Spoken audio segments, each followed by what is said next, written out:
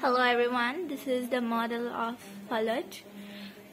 So this was the irrigation system during olden times in UAE.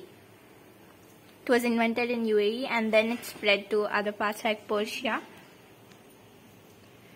So what happens in this is there's a well or any oasis from which the water enters the channels through a pipe uh, so these channels again they're they're surrounded by date palms because uh, the climate in UAE is very dry. So to prevent the water from evaporating they protect them.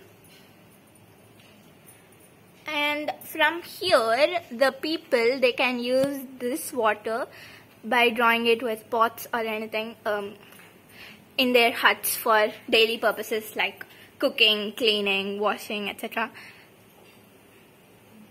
so this was an invention which helped the UAE people very much. And it's still cherished the tradition. We can visit these type of places in Al Ain